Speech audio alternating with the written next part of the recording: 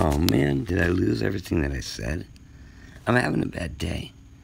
I had a bucket list, and I ran out of change. I'm just a simple man, a man without a name.